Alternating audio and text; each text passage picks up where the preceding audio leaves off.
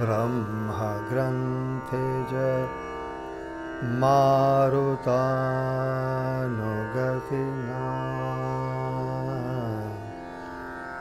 चित्तेन हृतपङ्कजे सूरिणामनो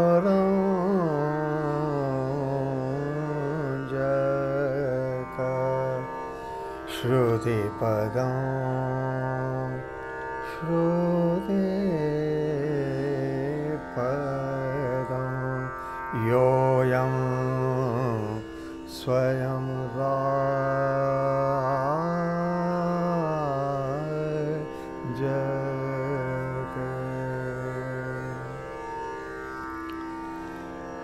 यस्माद्ग्रामविभाग वर्ण रचना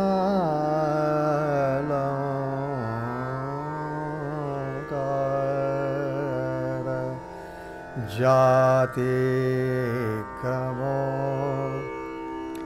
तमुथुर जगद्गी तं वन्देना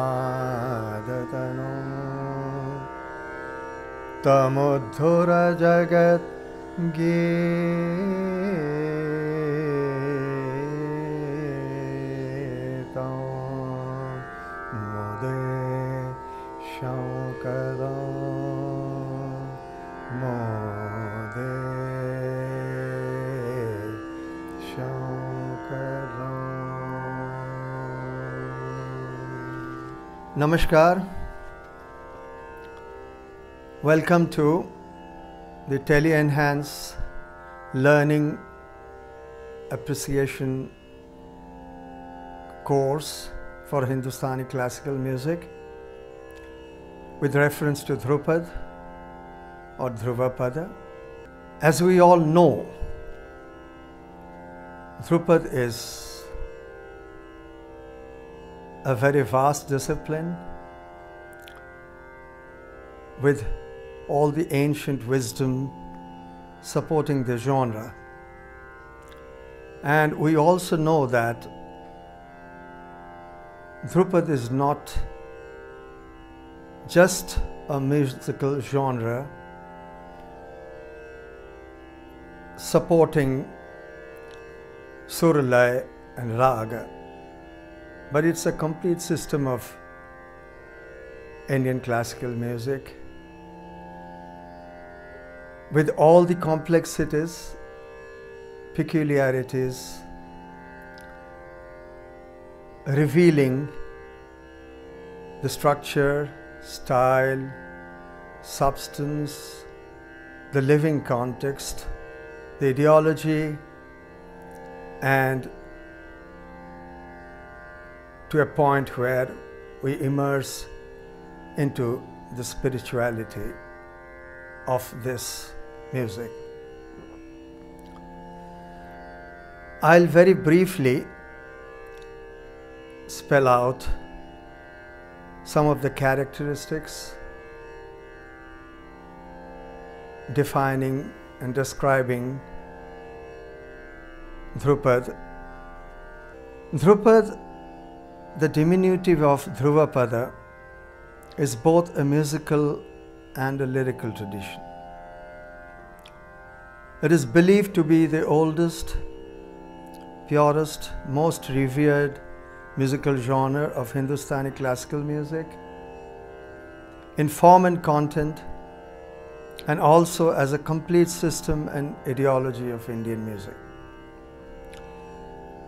Dhrupad is one of the several distinct styles of Indian classical vocal music performed today in North India.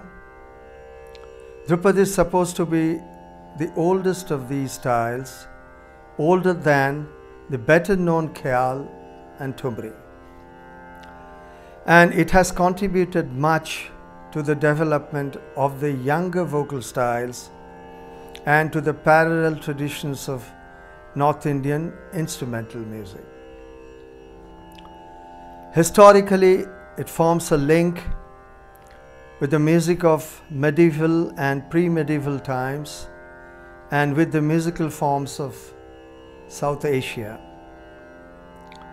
Thus, to understand the history of musical art in South Asia and its present practice, it is necessary to understand Dhrupad.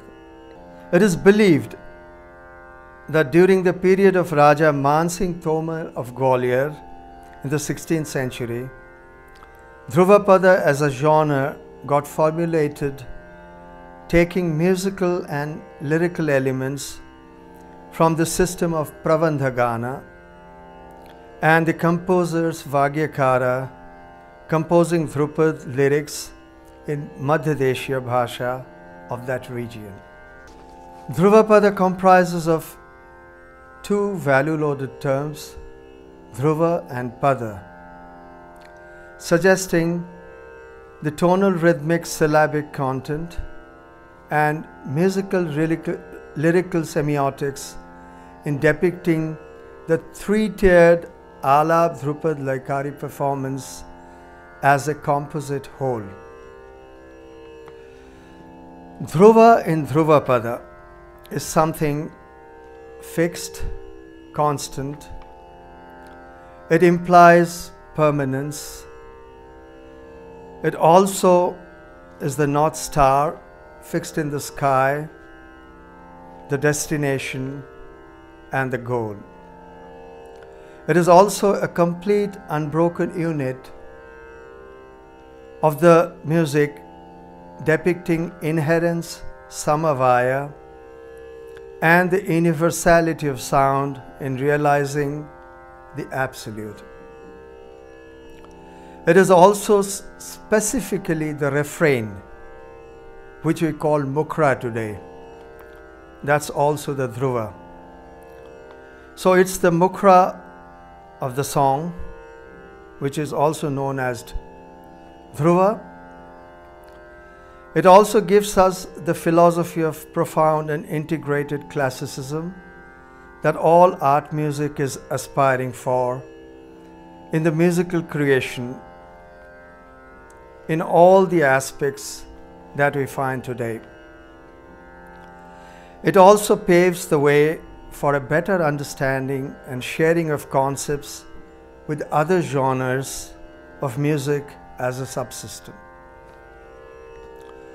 In substance and spirit, Dhrupad has been barely secular and more a profound and mystical tradition in experiencing the creative excellence of music for self realization as Nada Yoga and also for seeking liberation, moksha, and also absolute joy, the Brahmananda.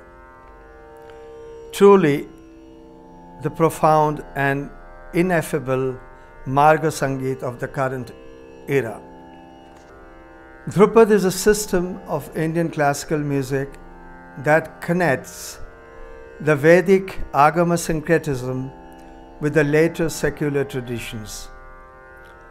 It also bridges the schism of the textual Shastra and the oral Prayoga traditions that some scholars and musicians refrain from mediating upon them. Finally, Dhrupad is not just exploring a specific style of music, but a musical involution and an eternal journey of delving deeply into the hidden sounds, both for the musician and the listener, by experiencing the vastness of the raga and connecting to meaningful silence for the sake of eternal bliss. Now, I'll illustrate very briefly how a Dhrupad performance sounds like. I'll be reciting Rag Lalit, a brief इन चार ताल। रे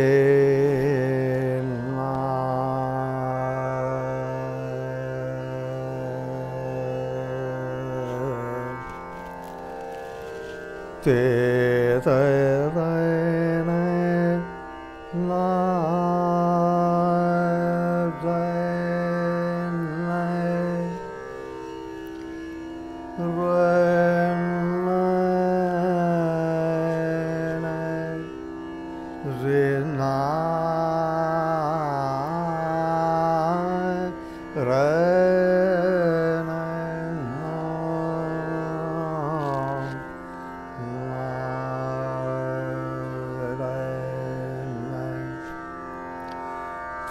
in Chartal.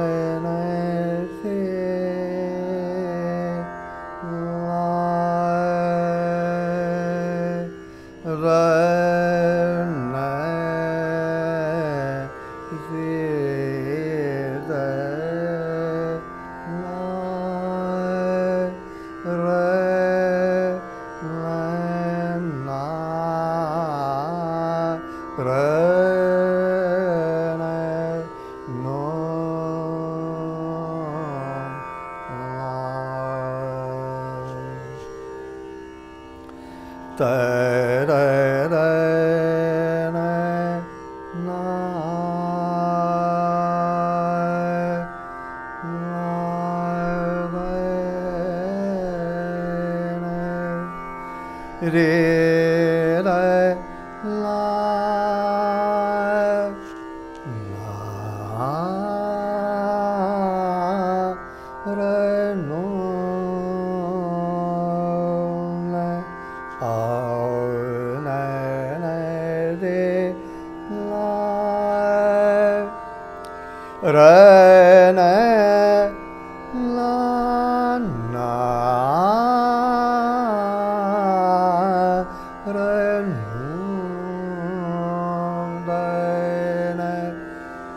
te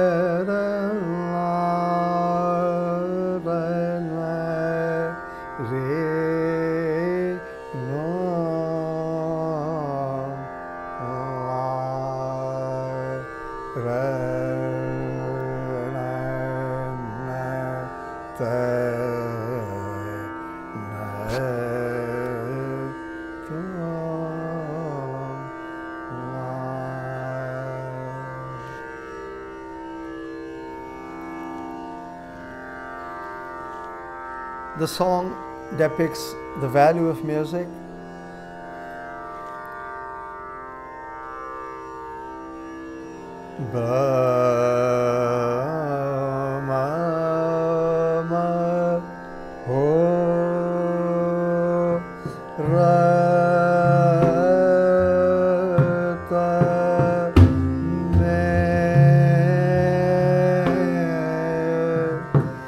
Nah.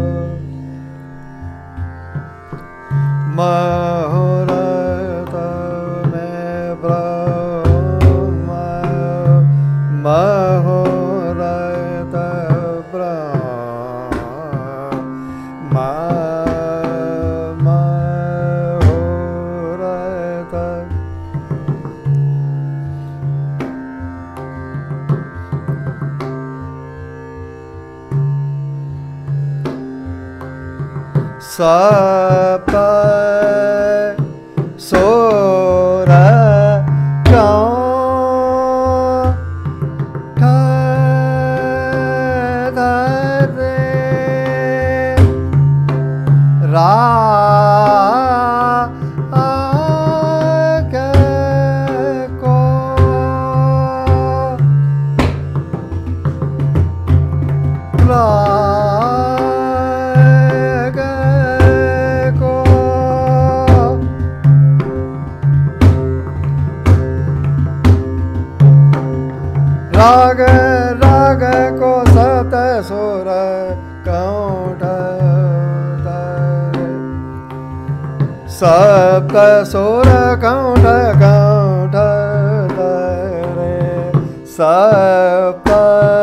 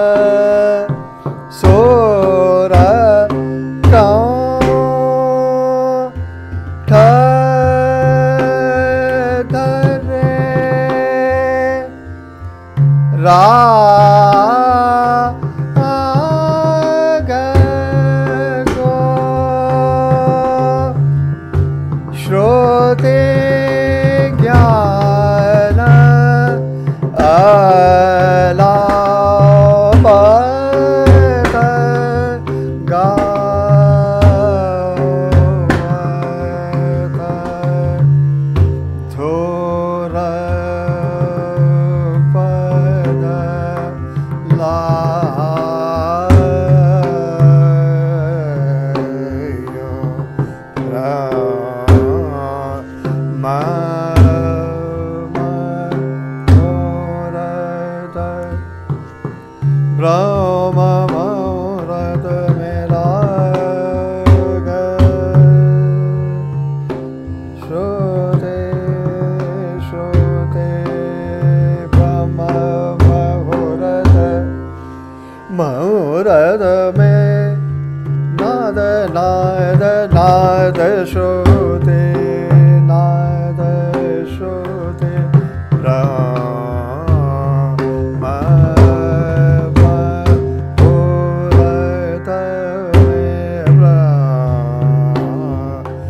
my